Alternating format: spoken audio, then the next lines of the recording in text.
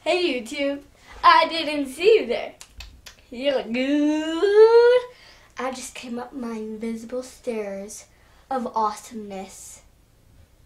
Go to the stairs! It's just a floor.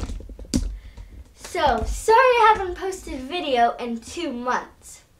I've been very busy with the new school year, and I have dance company, and this is what I do. Okay, and I got braces. If you haven't even, if you haven't noticed yet. Braces. Today I want to talk about the truth about lying. So the reason I'm doing this is because last week my coat um got lost at school. Um and I and someone took it. I don't know why, but um when I confronted them, it was easy to tell that they were lying. Lying like a cheap rug. Lying like a penny in the parking lot of a grocery store. Lying like a pine tree in my backyard after a major storm. See what I did there?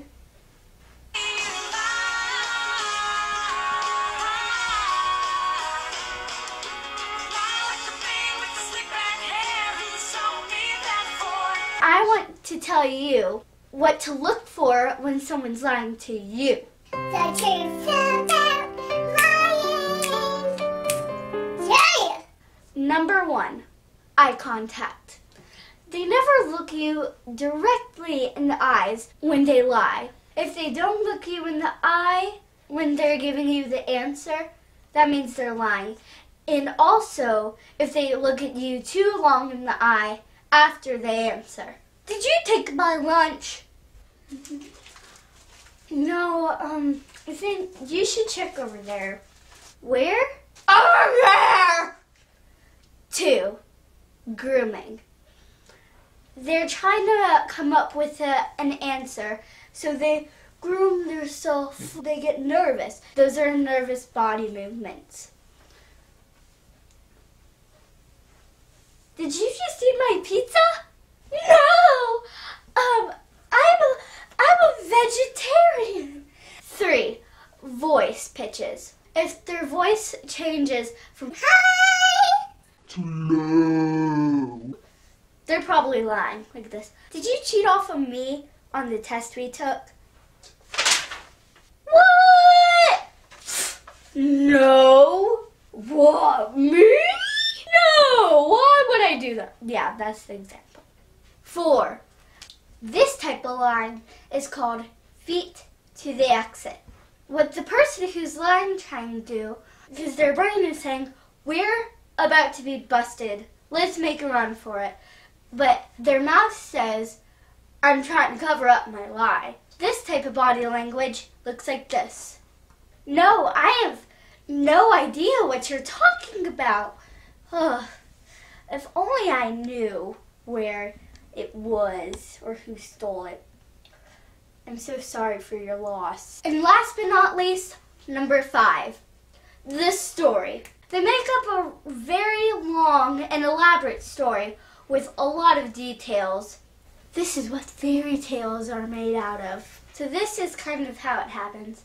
Hey, why couldn't you um come over yesterday? Oh, well, you see, I was at church, and at church we the whole time mostly we have to pray for 4 hours and I didn't have my flip-flops. Oh, and then you're supposed to have blue flip flops. So, and I didn't have any blue flip flops. So, my mom had to drive all the way to Canada because that's the only place they make the certain type of blue flip flops. And then she had a flat tire. So, and then she went to the airport and then there was no plane because flip-flops from Canada? Do you wish you had your Canadian flip-flops for church? Well, do I got the pride for you. We have Canadian flip-flops. They come in blue, black, silver, and all your Canadian colors for church. Just put them in the fountain, and that's respect. Buy one, get half one for free! Yay! Canadian flip-flops! $200 including tax. Thank you so much for watching and to follow me on Twitter, Facebook, or on Instagram. And to find out more about my channel and watch all my videos, click on the links below. So give this video a big thumbs up and make sure you subscribe right here. Eat more bacon. Bye! Invisible stairs.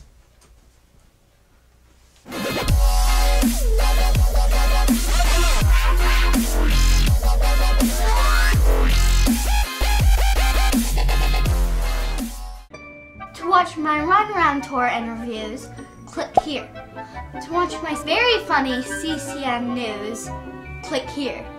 To subscribe to my channel, click here, here, and possibly right here and here. So thanks for watching.